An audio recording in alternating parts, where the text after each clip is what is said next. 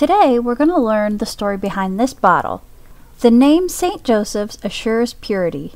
On this episode of Antique Bottle Stories.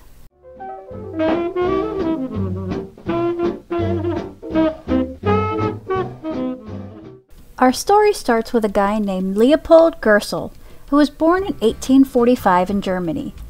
Here's an Ellis Island, New York passenger list that shows that he comes to America in 1854 with his family when he was 8 years old, with his dad Abraham, his mom Jeanette, and his two brothers.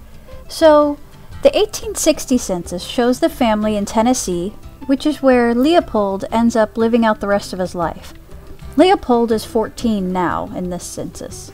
His dad is just listed as a merchant.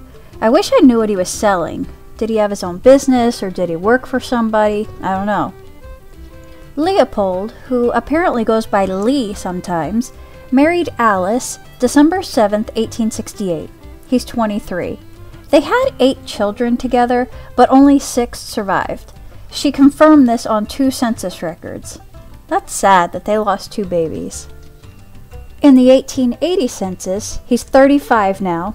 He lives in Union City and he lists his occupation as a dry goods merchant. There's a website that had done a little research on this guy, and they say that he built his house and a general goods store right on the same block. They say that his house still stands, but that little general store burned down in the 1990s. According to that website with the research, they have that the St. Joseph's medicine started in 1887. That would work with the research that I found, I don't see a record before 1891, but the city directory shows Leopold and his company in Chattanooga, which lists them as manufacturing druggists and chemists. His son Samuel, who is 18, is listed as the general manager of L. Gerstle and Company. Five years later, the 1896 directory words it a little differently. It says manufacturing chemists and proprietors of St. Joseph Family Medicines, and here's the ad in that year's directory. I tried finding where his office was, but all I could find about Electric Railway is this ticket.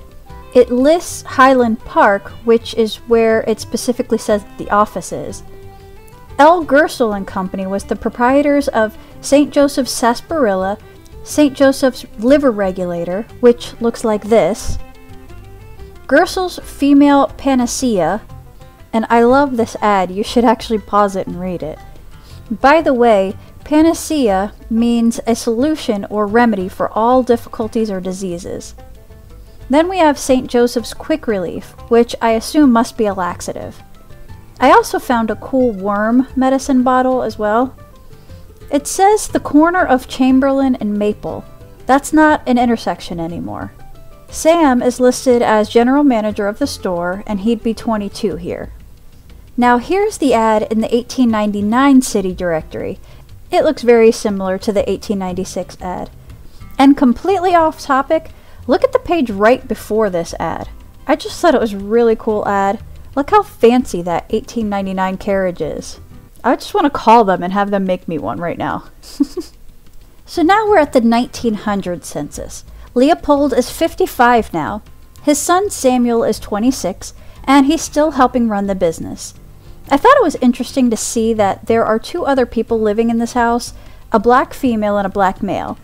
The male is listed as a driver, and the female is listed as a cook. And here's the 1906 directory. It lists Leopold as president of the company. It shows Sam as vice president, and Harry as secretary and treasurer. Now, here it says manufacturers of GFP, which stands for Gerstle's Female Panacea, and St. Joseph's Remedies.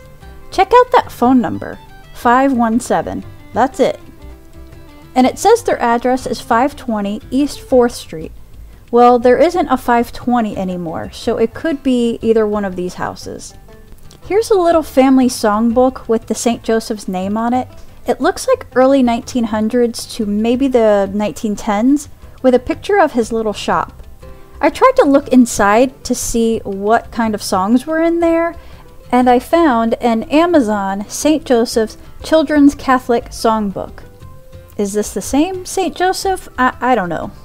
Then we see in the 1910 census, Leopold is 64, still working, still manufacturing drugs. His two boys are still working and living with him.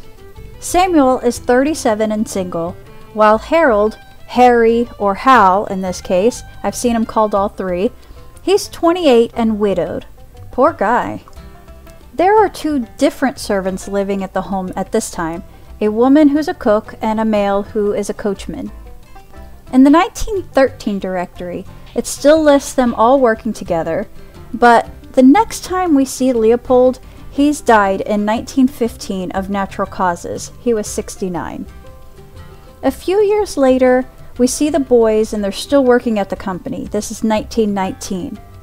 Then, two years later in 1921, it shows the boys living with their mom still, but it doesn't mention the business at all.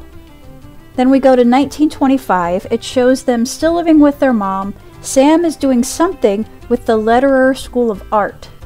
Their mom, Alice, dies later that year in 1925. Sam dies two years later in 1927, and it says from heart degeneration. He was only 54. His occupation on his death certificate said that he was a retired merchant. By 1929, Hal had gotten remarried to a lady named Abby. I was thinking, good for him. Then I see this poor guy died later that year. It says that he died from Malta fever, which is caused by ingesting unpasteurized milk or undercooked meat from an infected animal. He was only 49. It says his occupation at the time was a broker in the lumber industry. So, as far as the company goes, I wasn't coming up with anything. What did the boys do with it? Finally, I stumbled on some St. Joseph aspirins. It was today's packaging, but I thought it's a long shot, but I went to the website and there it says the brand was created by the Gerstle Company. So, boom! Okay, we're on the right track. They go on to say that Plough Incorporated bought the St. Joseph's brand of aspirin in 1920.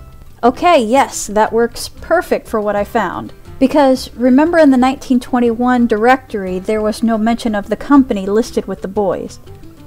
So, but it specifically said that they bought the aspirin. It doesn't say that they bought any of the other remedies. But I guess they had to because my bottle has a date stamped of 1937. The single digit means that it's the 1930s. And I don't think there was a liquid aspirin. Yeah, I doubt there was aspirin that would have come in a flask. So they had to have had a few of the other remedies for a little while, it seems. This flask is super thin, it barely stands on its own.